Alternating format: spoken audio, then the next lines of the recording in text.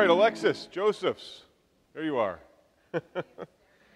Joining us from Vevo. Give her a hand, please. Thank you.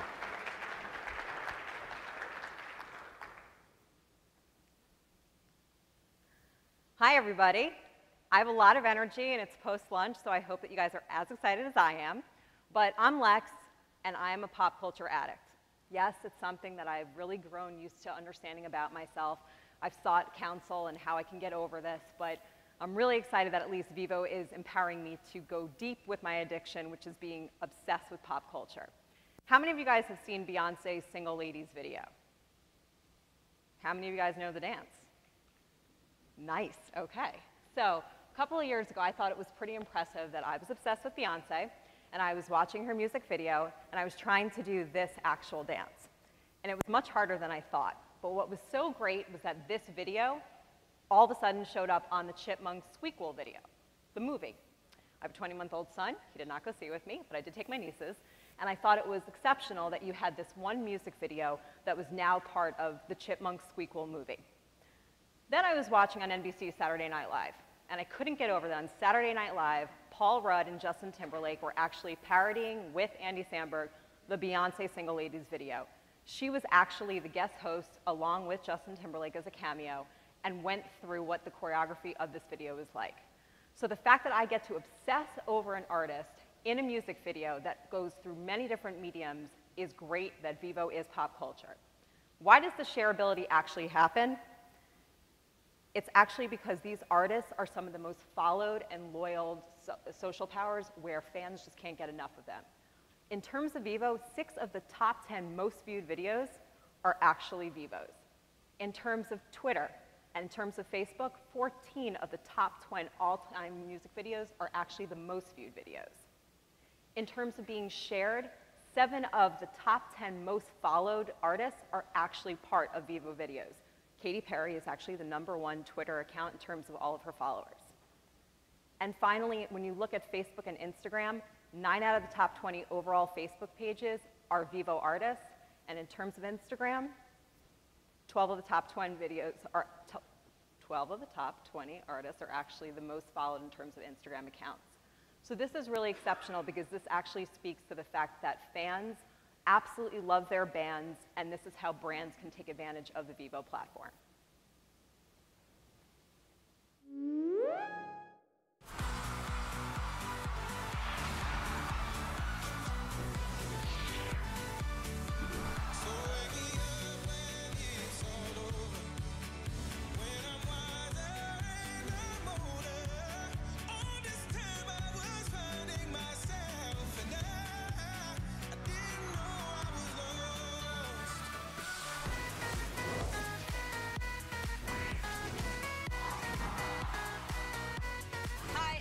Perry. Salut Chico Pitbull. I'm Alicia Keys. I'm Carly Rae Jepsen. Hi, I'm Britney Spears. I'm Taylor Swift. And I am certified. And I am certified. And I'm certified. I am certified. And I'm certified.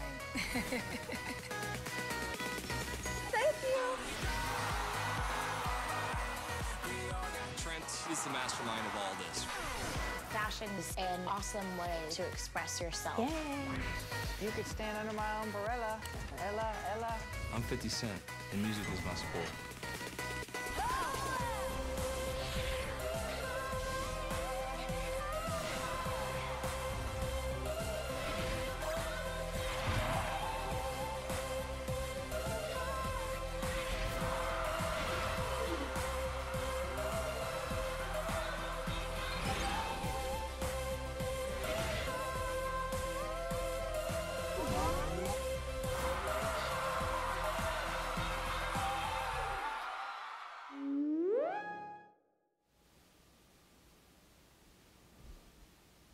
This only could happen to me, by the way. I am a technology fool. Um, in terms of what you just saw, something that I get really excited about is that Vevo has been a syndication model since the beginning of our joint venture, which was back in 2009. We were able to get to scale really quickly because we empower the fans to actually consume this content wherever the content goes.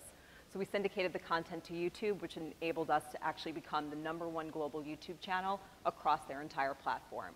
We understood very quickly that our three core audiences, which are millennials, Hispanic, and moms that they wanted to be able to consume this content wherever the content went.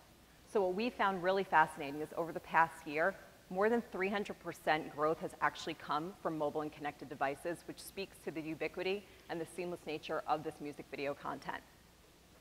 When we started in 2010, we were primarily a desktop play. Most of you would actually go onto YouTube or Vevo and actually start consuming content. But over the four-year rise in Vevo, the proliferation of devices and connected devices have actually enabled us to grow along with those audiences. It's diversified who's watching them. It's diversified the, devi the devices in terms of how great they've been. Um, ironically, Roku and Xbox are two of the ones that are fastest growing for us. And we've actually been able to achieve the scale of a television network within four years. Something that we found really exciting, though, is how we're looking at the mobile device. When you think of short form premium content, and someone mentioned, Chris, what premium content meant to someone before, premium content to Vevo is the fact that these are some of the biggest artists in the world. The most creative, creative directors and producers are actually creating this content, and they're coveted by fans. So when you look at this content across device, you see that over the course of four years, the change in terms of engagement has actually occurred from desktop through connected devices. What we found really interesting, though, about our audience is when you go back to those three core segments of moms, millennials, and Hispanic, you see that they're actually engaging with our content in unique ways. Co-viewing is incredible. 76% of our cross-platform views are actually coming from the fact that a mom and her child are watching it together, or friends are talking about the latest Miley Cyrus fiasco. They're actually engaging this content and they're loving it. So something else that we found really exciting is the diversity of when you look at mobile and you look at connected devices, where are those audiences actually consuming content and how are they consuming content? This makes really exciting for brands to utilize us. They're not coming for a one-stop place for one particular demo. They're looking at the range of products that we have, where the content goes, and what audience is applicable to that actual device. So over the past four years, as we stated, what we have found that's been uh, remarkable specifically for the US is that where that trend is going in terms of the switch from desktop to connected devices is really happening in, in the United States. When you look from last year to this year, the fact that you see that mobile is really increasing as its connected device in terms of that shift, that's pretty remarkable. In 2010, 100% of Vevo's traffic was on desktop. In 2014, more than 50% of our traffic now comes from connected devices and mobile. And so we've been talking about obviously when consumption occurs across these devices. For us, we're always on. The fact that music video content is released on an hourly and daily basis from over 50,000 artists that we have as part of our repertoire, it's truly unique in terms of how much content is being consumed all the time. If you look specifically at traditional prime time, we spike. If you look at specifically connected TV, we spike. But then, of course, when you look at the holistic day, because we have a content platform that's always on and that's always delivering new experiences and new content to fans, you really see that fact that this is a 12 hour to 24 hour cycle.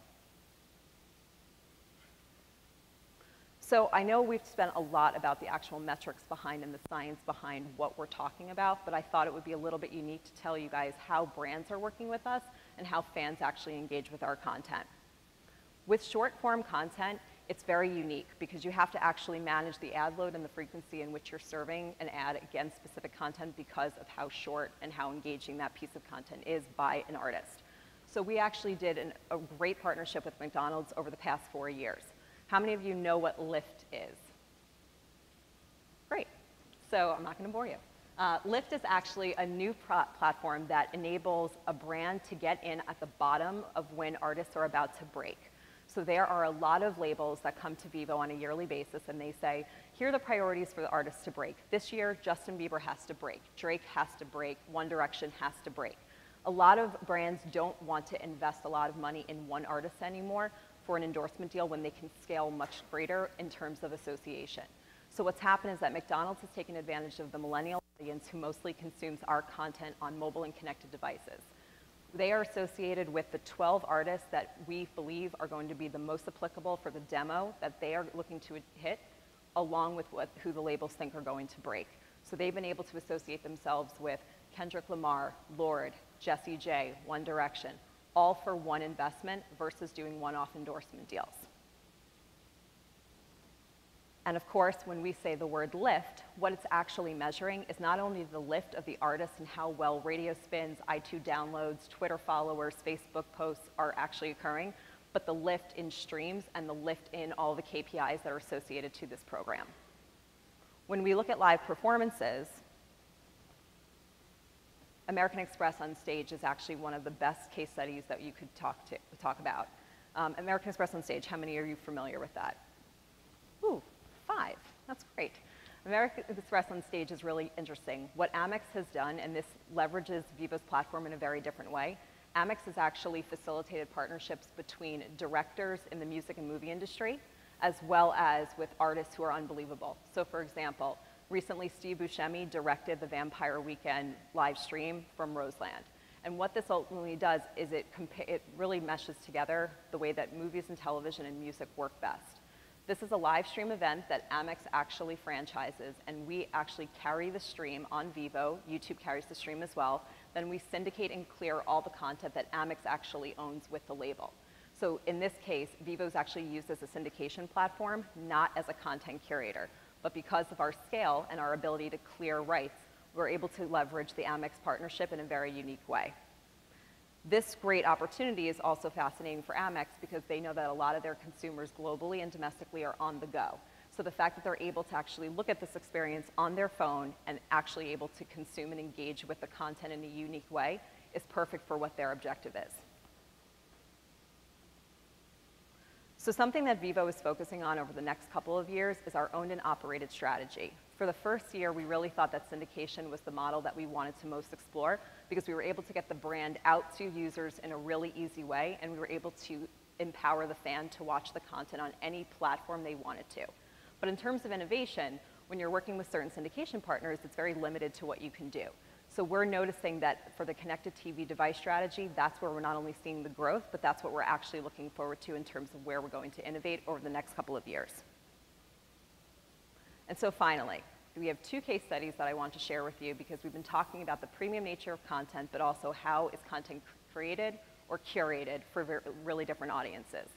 The two case studies that I'm most highlighting are Lyric Lines, the way that Coca-Cola worked with us, and yes, that is Steve Urkel. That is Jaleel White and how USA worked with us in terms of um, one of NBC Cable's properties. In terms of Tommy, Tommy is a man that is desperately looking for love, and he is a brand's dream. He is from Nashville. He's a blonde hair, blue eyed boy, and he was really trying to pick up girls. So, what he was doing was using lyric lines to pick up girls. He would go over to a girl and say, I would like for you to be under my umbrella, which was referencing Rihanna. Or he would leverage one of Justin Bieber's lyric lines to literally hope to get a date.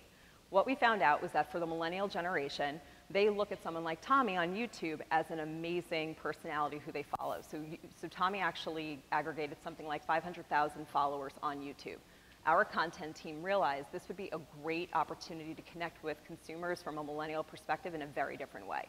We actually signed Tommy. We were able to make it um, somewhat editorial in the sense that we rolled this out during Valentine's Day of last year, where Tommy leveraged Taylor Swift, Justin Bieber, Drake, uh, Selena Gomez, and he literally would not only drop these lines in hopes to get a date, but the payoff was that they would share a Coca-Cola. So they would literally sit down on a bench and they would share a Coke. This became so successful because we actually not only seeded it out, but then it was picked up by Huffington Post and several other portals that he landed a spot on The View when Jenny McCarthy was one of the hosts. How many people know who Jenny McCarthy is? Thank God. Okay.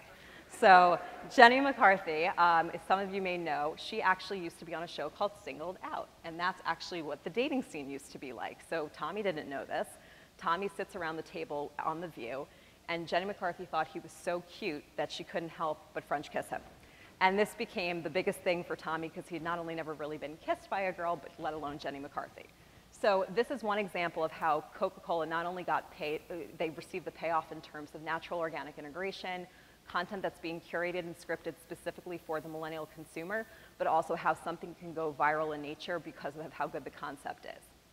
Another franchise is something that Vevo's editorial team specifically does. There's a lot that goes on in the music industry and in pop culture on a weekly basis, and it's impossible to keep on, on top of it.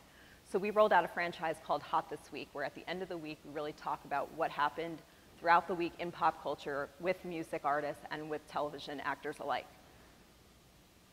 Basically, what was going on was that Syfy has a new show that's coming out, called, and it was called Total Blackout. And Jaleel White was one of the players within this actual show. So Jaleel White hosted the franchise for a week, and he was able to really integrate not only his personality, but a lot of the show's attributes. So we worked with Ignited, we worked with the clients on at Syfy, and we were able to produce this content. So I'm going to ask the gentleman in the back to cue the video for me, so that you guys can see what the content is. You want to go out for a drink sometime? Just this kind. Like, if you have a drink with me, then I could tell my friends I went drinking with a girl. So, oh, yeah. Hi, I'm Jaleel White from Syfy's Total Blackout, and here's a recap of all things hot this week on Vevo. Oh, I just wanna One Direction go retro in Vevo's exclusive premiere of Kiss You, dressing up as skiers, surfers, and even throwing Elvis's Jailhouse Rock in there. Kesha has all sorts of friends, and in the video for Come On, she has fun introducing us to a few animal pals. UK superstars and new Vevo Lift artists The Saturdays begin their US domination by taking us on a singing shopping spree in What About Us?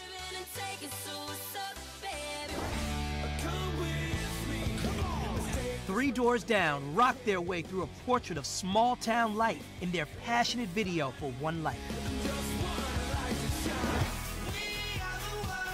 Wrapping it up, newcomers MKTO have some unique ways of getting rid of the older generation in their thank you video. Coming up next week, ASAP Rocky's new album arrives on Tuesday, and he celebrates by making Vevo a playlist of his favorite videos. Hey, that's it for now, but don't forget to catch me on Syfy's Total Blackout premiering this Tuesday, January 15th, 10:30, 9:30 Central.